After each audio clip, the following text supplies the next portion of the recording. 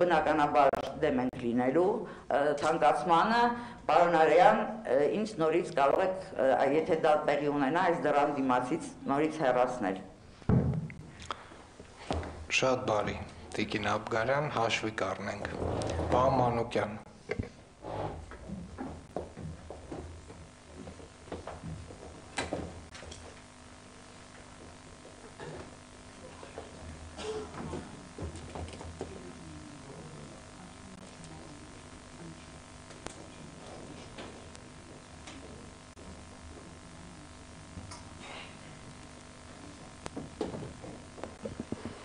Շնորհակալություն։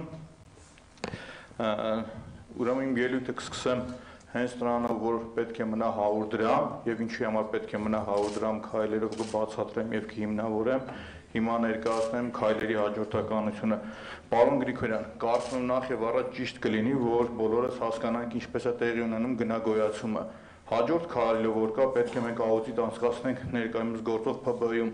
որպեսզի հասկանանք այնուամենայնիվ արդյունավետ գործում է թե չէ։ Ամենապրիմիտիվ օրինակը բերեմ, աշխատում են հեղուկ գազով։ Հեղուկ գազը սեզոնային բնույթ ունի գինը։ Ամառվա ընթացքում երբ որ լարսը բաց է, ավելի ցածր է գինը լինում, ձմեռը թանկանում է ինքը։ Միգուցե այսօր իրանք այտենց աշխատում են, ես չգիտեմ, որովհետև ինֆորմացիան, որը որ ես պահանջում չի տրամադրվում։ Եվ այս պարագայում ամառը կուտակելով այդ հեղուկ գազի ծավալը դու կարող ես ձմեռ ավելի էժան հեղուկ գազով աշխատել։ Դա կնպաստի գնագոյացմանը։ Հաջորդ խնդիրը որ կա, խիստ անհրաժեշտ են էլեկտրական ավտոբուսները գնելը, որոնք կտրուկ կնվազեցնեն ծախսերը։ Պարոն Ավինյան, ուրեմն ես այն ավականին չեմ, որ որ պիտի մենակ կնոպկա սեղմի, ես աշխատում եմ ու ես հիմնավորումը բերեմ ինչի համար եմ ասում էլեկտրական ավտոբուսներ ու ինչ ձևով։ Իմ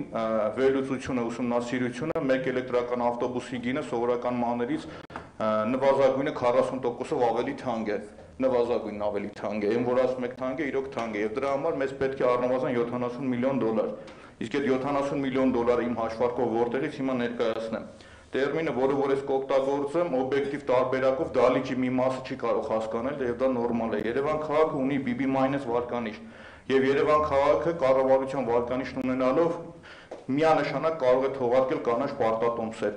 ես կարող եմ օգնել եւ ներկայացնել ինչպես թողարկի եւ այդ գնորդին էլ ասեմ ով կարող են գնել այդ կանաչ պարտատոմսերը, որը կուղվի միայն եւ միայն էլեկտրական ավտոբուսների ձեռքբերման համար։ Հաջորդը այդ գումարները որտեղից կարող են հայթայթել։ Ամբողջ աշխարհում կա City Tax հասկացողությունը նույն զբոսաշրջիկների հետ կապված որը Հայաստանում չի կիրառում, Երևանում չի կիրառում։ Կարծում եմ, որ դա շատ օբյեկտիվ է, փոքրիկ գումարներով քաղաքագրվի այդ գումարները։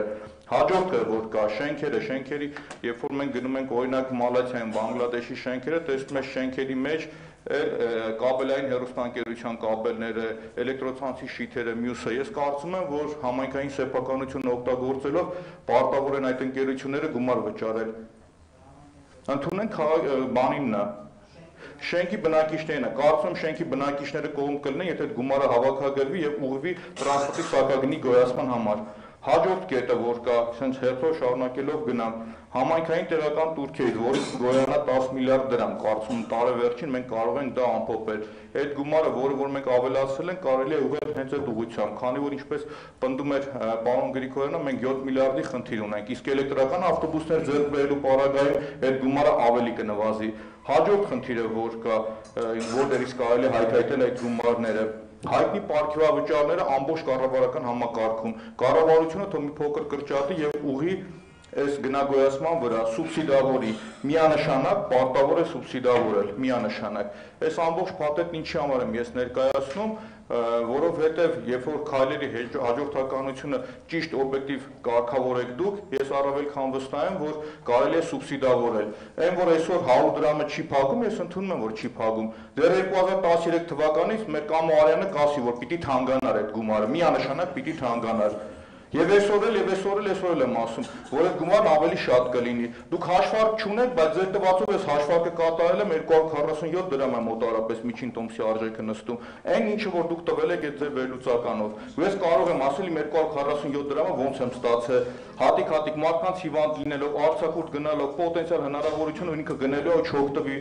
Իսկ ձեզանից ինչ ենք խնդրում։ Խնդրում ասում եք ներկայացեք այդ տվյալները, որ մենք կարողանանք հիմնավորել եւ ասել։ Ու միանշանակ նորից եմ պնդում, կա սուբսիդիա տերմինը։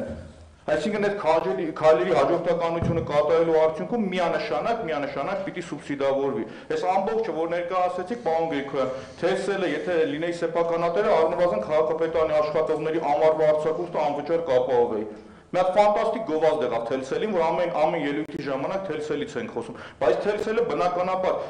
իր հորտնի չի բեր, ինքը շահ ունի, որ այդ ամեն ինչը ձերի անում կամ փոքր ցածր անում։ Ինքը իր կաշիլոկի մեջ հավաքում է այդքան մարդու, որպես այդպեսին, այդ դրանից հետո սկսել է օգտվել։ Ուզում եմ հասկանամ, էլի այդ ձերի պանիրը մենակ թագարտի վրա է լինում։ Այդ թելսելն այդ ամեն ինչը որ անում է, պատական չի անում։ Ու տարբերությունը շատ չնչին է։ Հաջորդ խնդիրը որ կա, որ ասում եմ այդ գումարը որտեղից է բերել։ Կարմիր գծերի հետ կապված խնդիրներով է 2 միլիարդ դրամ էլ տեղից հավաքվելու։ Ես կարմիր գծերի վերաբերյալ ես ասել եմ, մենք քննարկել ենք դեկտեմբեր ամսին։ Շնորհակալություն եւ ես պնդում եմ, որ պետք է մնա 100 դրամ եւ քաղաքացին պետք է վճարի 100 դրամ, քանի որ այսօր այդ 100 դրամ վճարելով մնացած բեռ հացի խնդիր է լուծում քաղաքացին։ Շնորհակալություն։ Շնորհակալություն